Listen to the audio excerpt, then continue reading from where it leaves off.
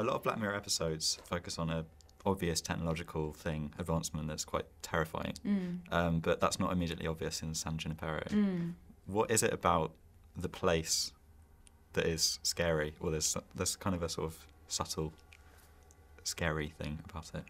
I don't think that there is anything scary about San Junipero. I don't know. I think, unlike maybe some of uh, the Black Mirror episodes that have a sort of very chilling element to them uh, in terms of where technology could take us, I think that um, San Junipero does offer a very positive alternative to where life could take you. I don't want to spoil it because Yeah. it's so tricky to talk about. I think so many Black Mirror episodes, the concepts are so mind blowing that when you know too much about it, it spoils the experience of watching it. Mm.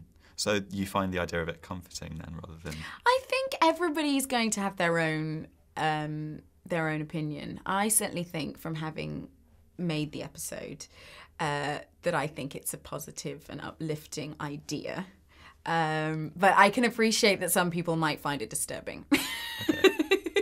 uh, a lot of it's really fun as well. Yeah. So the dancing scenes in particular. yes. Um, how what were they like to shoot? Amazing. I mean, I really love that 80s soundtrack, I have to say. When I got the script, all the songs were written into the script, and you find yourself sort of humming along as you're reading it. And you realize people don't make songs like they did in the 80s anymore. You know, that sort of synthesized kind of poppy sound. Um, and it was really fun. Mackenzie Davis, who I work with in, in the episode, we do uh, get a chance to like dance on the dance floor and um, it's safe to say my character's a little bit more confident and vivacious about the whole dancing idea um, so yeah those scenes were just such a joy to shoot really funny What were your favourite tracks? Oh my goodness. I'm trying to think now. There was um I mean there is I guess the title track of that the episode is Belinda Carl- Carlisle's Heaven is a Place on Earth and and that is an amazing song. I mean, it's really annoying because once it's in your head, like it's it's in there. You're not going to get it out of your head. But um, yeah, that was that was something that we would sing to ourselves on set to keep us awake when it was the night shoots in Cape Town. What was your favourite scene to shoot? Oh my goodness. Well, beyond the dancing scenes, you know, we had some beautiful scenes on the beach in Cape Town. And actually, uh, on one day during one of the scenes, an ostrich uh, came to visit.